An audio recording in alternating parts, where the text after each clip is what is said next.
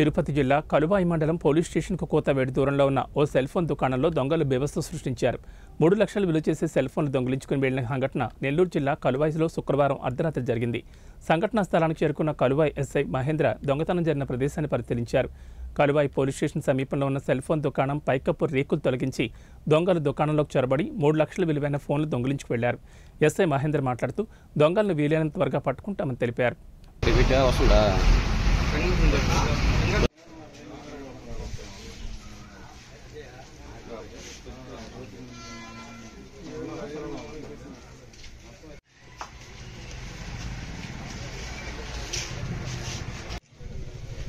나 나왔다.